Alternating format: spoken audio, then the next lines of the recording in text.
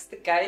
Da, tako bi vas pitali nekak u Zagreb da dojdete, pa aj tamo, onaj sjeverni dio a, lijepe naše, a, pa ako baš i niste nešto ono, da, možda ste malo i boležljivi, a možda vam je dosta mesa, roštilja i ne znam čega sve, ne, možda bi baš pojeli nešto onako fino na žlicu, Eingemachtec je rješenje, Eingemachtec. Uh, Eingemachtec vam je u stvari jedna fina ragu juha i upravo to ćemo danas napraviti, uh, koja se radi od pilećeg mesa, slično kao pileća, ali malo pojačana. Uh, pržit ćemo meso sa lukom, dodat ćemo vodu, dodat ćemo povrće, sve ćemo to fino skuhati i, e da, ukuhat ćemo i noklice. Na kraju svega i dobit ćemo stvarno jako fino jelo. Bog svima, ja sam Sandra Gašparić i dobrodošli u Recipeci kuhinju. Ako volite fino kuhati, po provjerenim receptima, na pravom ste mjestu. Pretplatite se na Recipeci YouTube kanal kako biste uvijek na vrijeme bili obavešteni o svim novim Recipeci video receptima. Uh, Eingemach ili Eingemachtec uh, počinjemo raditi tako što u jednu veću posudu, jer imat ćemo dosta tog te ragu juhice.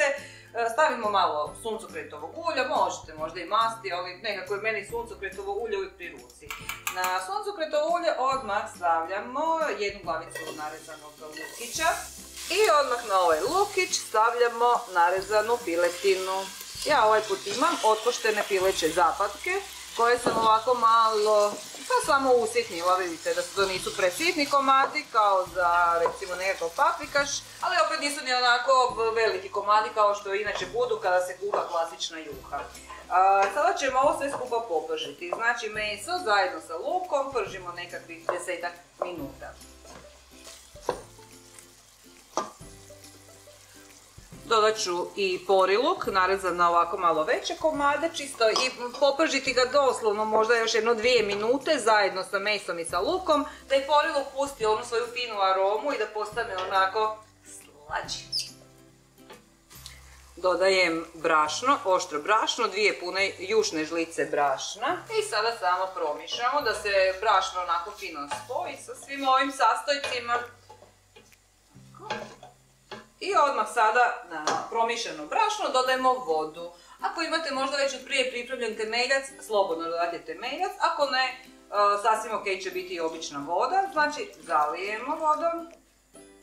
Promišamo, pogotovo dobro promešajte po dnu da se brašno, ako se možda malo dolje uhvatilo, da se fino onako sve od dna odvoji.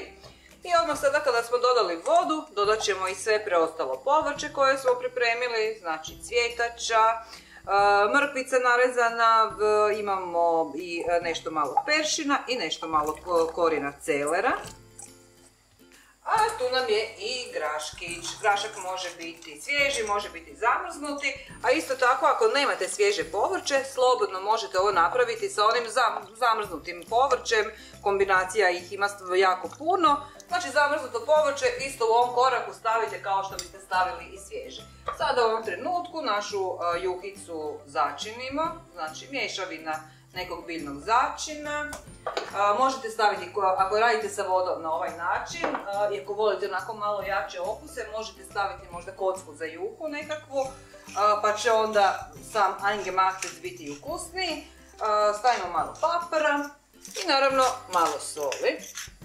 Sve skupa kada smo začinili dobro promiješamo i sada ostavimo na onako srednje jakoj vatrici da se to sve polako kuha. Naravno, brže će zakuhati ako bude poklopljeno. Budite samo negdje u blizini nakon jedno 15 minuta kada počne kuhati da vam ne bi pokipilo. Stavili smo brašna pa se to nakon onda voli malo više one pjenice dići pa svakako onda smanjite da vam ne bi pokipilo, čisto zbog toga. Uglavnom nekakvih 40 minuta bi se ovo trebalo kuhati. Koliko dugo će se kuhati ovisi o tome na kako ste velike komade isikli povrće. E, nakon pola sata već, ako ste možda malo sitnije izrezali, dođite pogledati ako je povrće mekano, maktici gotov, meso smo popržili, skuhat će se, to je piletina, i doista ne treba dugo. Ako su komadi malo krupniji, jedno 45 minuta, a nakon toga ćemo ga i završiti. Dok nam se Eingemachtec kuha, idemo napraviti noklice koje ćemo ukuhati kada Eingemachtec bude gotov. Znači dva cijela jaja, prvo ovako malo izradimo pjenjačom. E, ako nemate pjenjaču pri ruci možete ovo i uz pomoću jedne milice obično napraviti. I čim smo jaja malo razmutili, u njih dodamo stalno miješajući pšeničnu krupicu ili griz. I oštro brašno na kraju.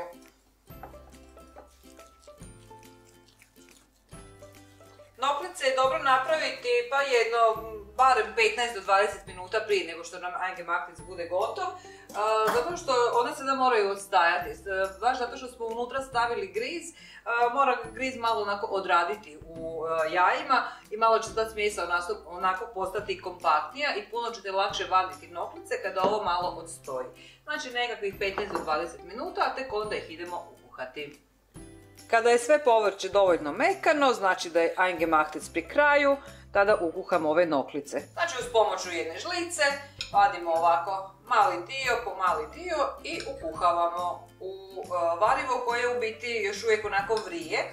I svaki puta žlicu sa noklicom uronimo u varivo kako bi noklica lakše skliznula. Kada ovako ukuhamo sve noklice, e, varivo, odnosno eingemachtec, više ne miješamo. Znači noklice će biti gotove za 5 e, do 6 minuta. U biti gotovo je onaj tren kada one isplivaju sve na površinu. Eh, ako ste stavili Ange na malo veću temperaturu eh, i ako malo više eh, vrije sve skupa, onda će biti to i prije gotove. Ali u stvari ćete najbolje biti sigurni da li je gotovo, a izvodite jednu noklicu pa probajte. Ali svakako u toku kuhanja nemojte miješati. I za sami kraj još kada smo ukuhali noklice stavimo unutra i otprilike dvije žlice sjeckanog peršina. Svježi list, i s ovim ćemo u stvari završiti naše jelo. E, znači, ajge mahtec nešto prilično jednostavno. Otprilike kao kada se kuha juha. I zašto se na kraju zove ajge mahtec? Šta mislite, zašto zove? pa zato što je iz, ovo jelo potiče iz germanskog podneblja. Karakteristično je, kao što sam vam rekla, za Zagrebačku regiju, za sjeverni dio Republike Hrvatske, a tamo je bio jako velik utjecaj različitih germanizama, znači te i njemačke i austrijske kuhinje, a Eingemacht u stvari znači sve zajedno. Znači, kako bi mi to nazvali na hrvatskom jeziku? varivo. Evo, meni nekako naj, najviše to pada na pamet. U svakom slučaju, ljudi dragi, sve zajedno, angemah, sve u lonac, e, povrće koje imate pri ruci, e, koje najviše volite, e, može biti nečega manje, nečega više, znači možete improvizirati s ovim koliko vam je srcu drago.